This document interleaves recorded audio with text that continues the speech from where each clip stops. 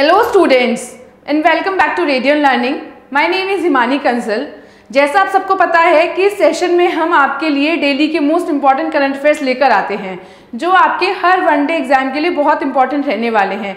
Please session को last तक देखिएगा और अगर आपको सेशन अच्छा लगता है please like the session and subscribe the Radian Learning channel साथ ही स्टूडेंट्स मैं आपको बता दूँ कि जैसे आपको पता है, अभी अप्रैल मंथ ओवर हुआ है हम आपके लिए पूरे अप्रैल मंथ की एक बड़ी करंट अफेयर का वीडियो लेके आने वाले हैं।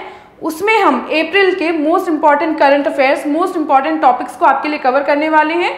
उस सेशन को हम क्वेश्चन आंसर की फॉर्म में लेकर आएँगे, जिससे आपका क्विक रिवीजन में हेल्प मिलेगी। आपको डिटेल्ड हमारे डेली करंट अफेयर्स वीडियोस देखनी है। उनका लिंक आपको डिस्क्रिप्शन बॉक्स में मिल जाएगा। साथ ही साथ हमारे टेलीग्राम पे जाके आप डिस्क्रिप्शन बॉक्स में वीडियो भी देख सकते हैं और उसका पीडीएफ भी डाउनलोड कर सकते हैं। और मंथली करंट अफेयर से आप एक ही वीडियो में आप रिवीजन के लिए उसको यूज़ कर सकते हैं। हालाँकि हम उसमें भी डिटेल बताएँगे, लेकिन अगर आपको हमारे डिटेल्ड वीडियो देखनी है तो आपको हमारे डेली के करंट अफेयर सेशन देखने पड़ेंगे। तो स्टूडेंट्स अब स्टार्ट करते हैं हम आज का पहले ये करंट अफेयर सेशन और हमारी फ़र्स्ट न्यूज़ है वर्ल्ड अस्थमा डे तो students world asthma day we observe every year on first Tuesday of May okay first Tuesday of May को हम इंटरनेशनल अस्थमा डे मनाते वर्ल्ड अस्थमा डे मनाते हैं और इस साल ये दिन कब पड़ा है? थर्ड मे तो स्टूडेंट 2022 में थर्ड मे को हम सेलिब्रेट हमने सेलिब्रेट किया वर्ल्ड अस्थमा डे आप सबको पता है अस्थमा एक लंग डिसीज है, जो मेनली हमारे ब्रीदिंग प्रॉब्लम कॉज करती है, जो मेनली हमारा रेस्पायरेटरी ऑर्गन को अफेक्ट करती है। इसमें ब्रीदिंग से रिलेटेड प्रॉब्लम्स होती हैं, जैसे वो ब्रीदलेसनेस हो और साथ में हेवीनेस इन चेस्ट हो तो ये सब अस्थमा की वजह से होती हैं। तो हम ग्लोबली ये दिन सेलिब्रेट करते हैं to spread awareness and care about asthma in the world okay साथ ही साथ आपके एग्ज़ाम पॉइंट ऑफ़ व्यू से, इसकी डेट के साथ, इसकी थीम बहुत इंपॉर्टेंट है। तो 2022 की थीम क्या रही है? Closing gaps in asthma care ये आपको याद रखनी है। और साथ में मैं आपको बता दूँ कि हमने 1998 में first time world asthma day celebrate किया था। चलते हैं अपनी नेक्स्ट न्यूज़ पे। That is about again a important day that is international day of midwife तो स्टूडेंट्स ये दिन हम कब सेलिब्रेट करते हैं? हम करते हैं फाइव मे एवरी ईयर तो स्टूडेंट्स फिफ्थ मे को हम international day of midwife celebrate करते हैं। और इसको सेलिब्रेट क्यों किया जाता है?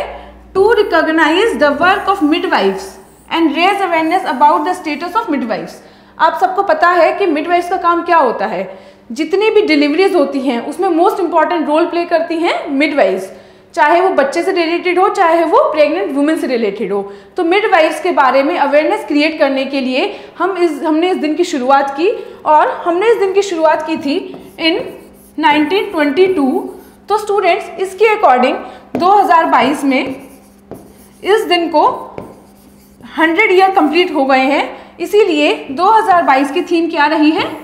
100 years of progress very important ये आपके एग्ज़ाम पॉइंट ऑफ़ व्यू से बहुत इंपॉर्टेंट है क्योंकि इस साल इसके 100 ईयर कंप्लीट हो गए हैं। तो इसलिए इसकी थीम रही है 100 years of progress next news is about world press freedom index 2022 आप सबको मैंने पिछली ही करंट अफेयर की न्यूज़ पिछले ही करंट अफेयर के सेशन में पढ़ाया था कि हमने वर्ल्ड प्रेस फ्रीडम डे कब सेलिब्रेट किया था? थर्ड मे को।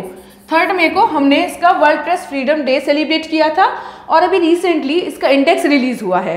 और मैं आपको बता दूँ कि अगर आप कोई भी इंडेक्स रिलीज़ हुआ है, उसको पढ़ते हैं तो उसमें चार पिलर बहुत इंपॉर्टेंट होते हैं एग्ज़ाम पॉइंट ऑफ़ व्यू से। सबसे पहला पिलर होता है कि इस इंडेक्स को रिलीज़ किसने किया है? सेकेंड इस इंडेक्स में टॉप रैंक कौन रहा है बॉटम रैंक कौन रहा है एंड फोर्थ मोस्ट इंपॉर्टेंट कि इंडिया की क्या रैंकिंग रही है। तो हम इस इंडेक्स में देखते हैं इन चारों पिलर्स पे। तो सबसे पहले इसको रिलीज़ किसने किया है? रिपोर्टर्स विदाउट बॉर्डर्स ने। वेरी इंपॉर्टेंट ओके स्टूडेंट्स ये आपको याद रखना है। Reporters reporters reporters without border ने इस इंडेक्स को रिलीज़ किया है और ये ट्वेंटियथ एडिशन था। इस इंडेक्स का ये ट्वेंटियथ एडिशन था, जिसमें इंडिया की रैंक आई है 150 तो स्टूडेंट्स ये रैंक ये इंडेक्स टोटल 180 कंट्री को इंक्लूड किया है, जिसमें से इंडिया ने रैंक हासिल की है 150 और अगर हम 2021 की बात करें तो 2021 में इंडिया की रैंक थी 142 दिस मीन्स इंडिया इस बार एट्थ रैंक नीचे गिरा है। मतलब इंडिया की प्रोग्रेस नीचे गिरी है एट्थ रैंक और इंडिया अब वन रैंक पे आ चुका है। और साथ में अगर हम इंडिया के नेबरिंग कंट्रीज़ का रिपोर्ट देखें तो Pakistan is at one fifty position Sri Lanka is at one forty Bangladesh is at one sixty position और इस इंडेक्स में टॉप किसने किया है? नॉर्वे ने किया है। सेकेंड नंबर पे डेनमार्क है और थर्ड पे स्वीडन है। ये तीनों आपको बहुत इंपॉर्टेंट याद रखनी है कि हम एग्ज़ाम में क्या पूछा जाता है? टॉप थ्री कंट्रीज़ पूछा जाता है। तो टॉप थ्री कंट्री हैं नॉर्वे डेनमार्क और स्वीडन ओके और साथ में अगर हम बॉटम बॉटम की बात करें, सबसे नीचे की पोजीशन किसकी है? नॉर्थ कोरिया की। तो आपको ये चार फैक्ट याद रखने हैं कि इसको रिलीज़ कौन करता है? इसको रिलीज़ करते हैं रिपोर्टर्स विदाउट बॉर्डर इंडिया की रैंक वन है और नॉर्वे ने फ़र्स्ट रैंक हासिल की है और नॉर्थ कोरिया की लास्ट रैंक है। तो ये था हमारा सारा वर्ल्ड प्रेस फ्रीडम इंडेक्स के बारे में। चलते हैं अपनी नेक्स्ट न्यूज़ पे।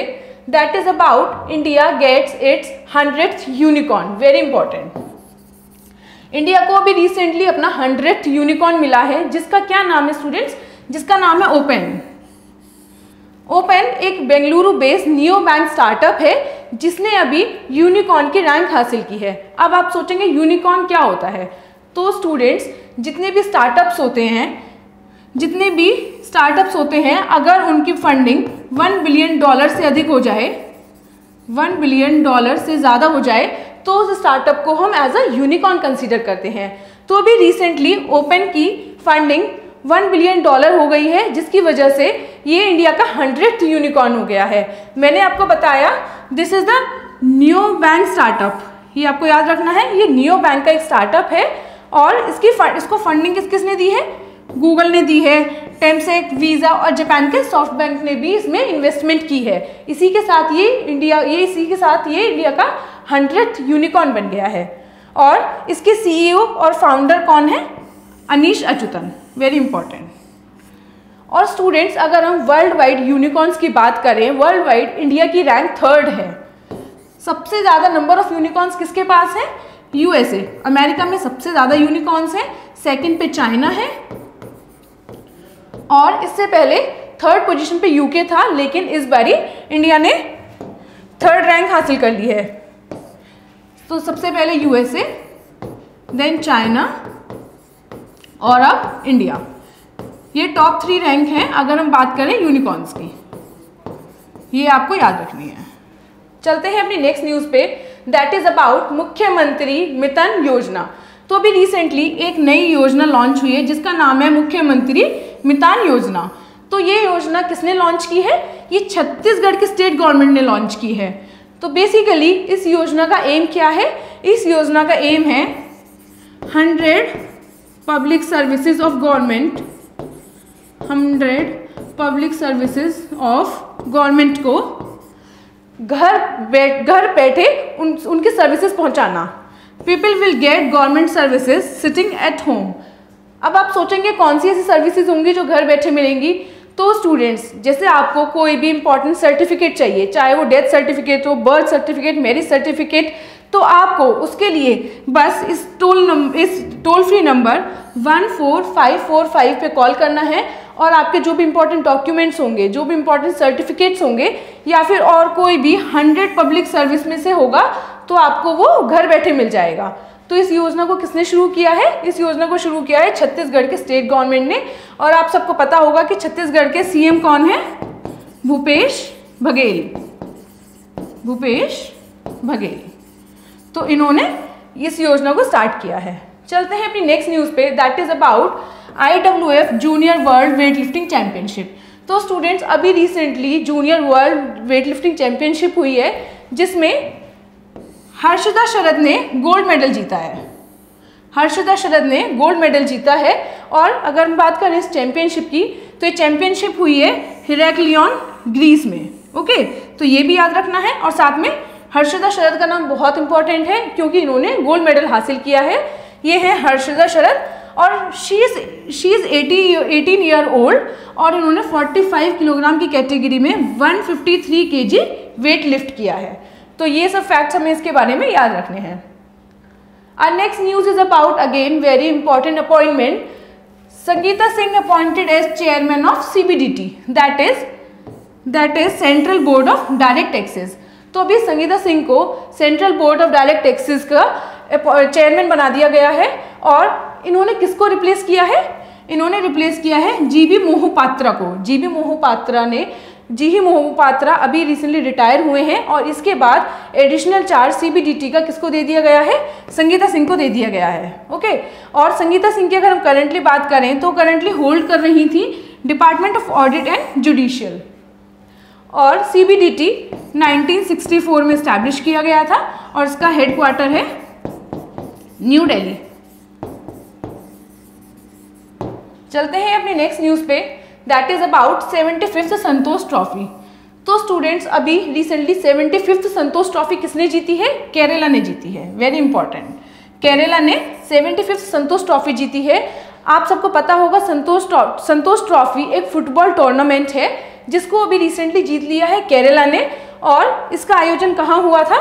इसका आयोजन मल्लपुरम केरला में हुआ था। और ये सेवेंटी फिफ्थ ट्रॉफी है, जिसको केरला ने जीता है और साथ में केरला संतोष ट्रॉफी जीत केरला के पास टोटल सेवन संतोष ट्रॉफीज हो गई हैं। अब हमारा नेक्स्ट क्वेश्चन है कि संतोष ट्रॉफी जीतने में केरला ने किसको हराया है? तो स्टूडेंट्स केरला ने बीट किया है वेस्ट बंगाल को, जिसके पास ऑलरेडी 32 ट्रॉफीज हैं। वेस्ट बंगाल 32 ट्रॉफीज जीत चुका है लेकिन इस बार केरला ने इनको हर, इसको हराया है और ऐसा करने वाली अपनी होम सॉइल पे अपने होम सॉइल पे केरला ने अब तक टोटल तीन ट्रॉफीज जीत ली है। फ़र्स्ट संतोष ट्रॉफी केरला ने होम सॉइल पे जीती थी इन 1974 सेकेंड ट्रॉफी जीती थी इन 1993 और 1993 के बाद अभी ये डायरेक्ट 2022 में इसने अपनी तीसरी ट्रॉफी जीती है। साथ में ये कुछ नाम हैं जो हमें याद रखने हैं। प्लेयर ऑफ़ टूर्नामेंट किसको दिया गया है? जीजो जोसफ को दिया गया है। और टॉप स्कोरर कौन रहे हैं? जैसन। ये दोनों ही केरला के हैं। तो आपको ये भी याद रखना है। साथ में हमने भी आपको पहली सेशन में ही पढ़ाया था कि केरला ने ओलंपिक गेम का भी आयोजन करने के लिए अनाउंस किया है। तो हमें केरला से रिलेटेड सारे इंपॉर्टेंट न्यूज़ याद रखनी है। और next news is about new CEO of Jio Saavn अभी जियो सावन के new chief executive officer appoint हुए हैं, जिनका नाम है सहस मल्होत्रा। ये है सहस मल्होत्रा, जिनको आपने एंटरटेनमेंट की दुनिया में भी बहुत देखा होगा, और ये अभी अमेजन म्यूज़िक के डायरेक्टर भी रहे हैं। तो स्टूडेंट्स अगर मैं आपको जियो सावन के बारे में बताऊँ तो जियो सावन एक ऑडियो स्ट्रीमिंग प्लेटफॉर्म है, जो कि म्यूज़िक लॉन्च करता है। तो जियो सावन ने स्टार्टिंग की थी इन 2007 एज सावन। लेकिन 2018 में रिलायंस ने इसको खरीद लिया था और इसका, इसको रीनेम कर दिया था जियो सावन। ओके साथ ही साथ अभी ये इसका नाम हमें, इनका नाम हमें याद रखना है सहस मल्होत्रा इसके सीईओ बन चुके हैं। तो स्टूडेंट्स ये थे हमारे आज के करंट अफेयर ऑफ़ सिक्स में और हम आपको कल मिलेंगे इन सेवन्थ मे के मोस्ट इंपॉर्टेंट करंट अफेयर्स में। साथ ही साथ हम आपके लिए अप्रैल की भी वीडियो पूरी अपलोड करने वाले हैं। जिसमें आपका क्विक रिवीजन हो जाएगा और उस एक वीडियो में ही आपको सारे करंट अफेयर्स पता चल जाएँगे जो आपके हर एग्ज़ाम पॉइंट ऑफ़ व्यू से बहुत इंपॉर्टेंट होंगे। प्लीज़ हमारी वीडियोज़ देखिए और हम चैनल सब्सक्राइब कीजिए। आपको वीडियोस पसंद आती हैं प्लीज़ लाइक कीजिए और कमेंट बॉक्स में अगर आपका कोई भी डाउट है तो आप हमसे पूछ सकते हैं। Thank you